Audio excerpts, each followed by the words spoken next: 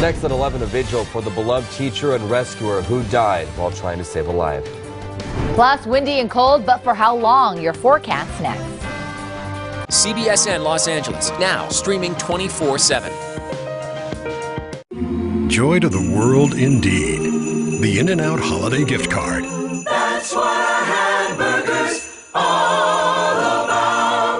Billy got a new video game for his birthday, but he didn't have enough internet speed to play.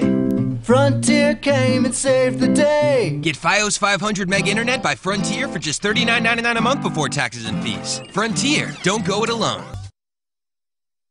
Live from the CBS Broadcast Center in Los Angeles, this is CBS 2 News at 11 p.m. A special tribute tonight from the family of a missing hiker to the man who gave his life searching for him. Tim Staples was a high school teacher and search and rescue team member who died on Mount Baldy.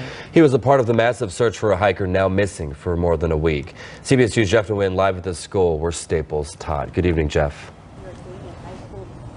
And good evening to you, Chris and Serene. Right behind me is a growing memorial here at Damien High School. Earlier, dozens of people were here to honor the teacher and volunteers seen here in this picture wearing that bright orange shirt for the search and rescue team.